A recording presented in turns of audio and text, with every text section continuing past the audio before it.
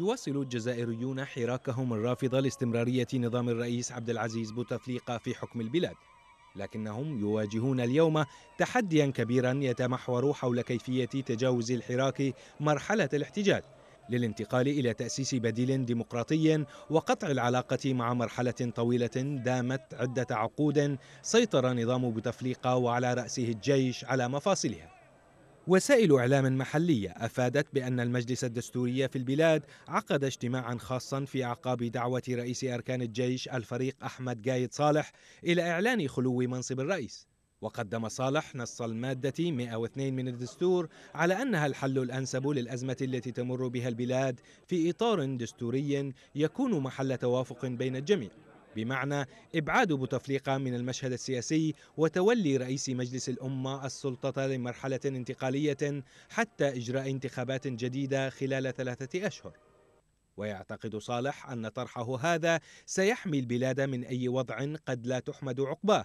ما دعاه ضمنيا لدعوة المجلس الدستوري إلى تبني طرحه هذا بقوله إنه يتعين على الجميع العمل بوطنية ونكران الذات وتغليب المصالح العليا للوطن من أجل إيجاد حل للخروج من الأزمة.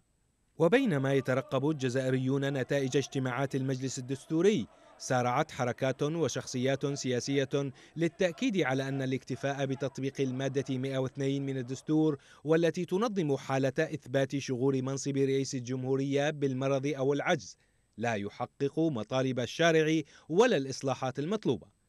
حركة مجتمع السلم إحدى الأصوات التي حذرت من الاكتفاء بالمادة 102 قائلة إن ذلك لا يسمح بتحقيق الانتقال الديمقراطي والانتخابات الحرة والنزيهة كذلك شددت الحركة على ضرورة حصر مهام المؤسسة العسكرية بمرافقة الوصول إلى الحل السياسي والتوافق الوطني والمحافظة على مدنية الدولة والأخذ باقتراحات الطبقة السياسية داعية إلى مواصلة الحراك الشعبي لتحقيق ذلك.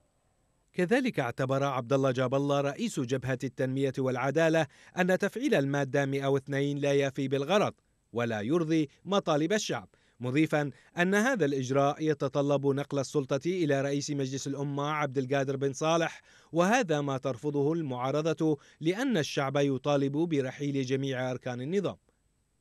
وبينما يحرص الشعب الجزائري على عدم تكرار الأخطاء التي حصلت في دول الربيع العربي ودليل ذلك أنه أثبت حتى اليوم تقدمه على أحزابه وسياسييه الذين تشقهم تباينات عديدة.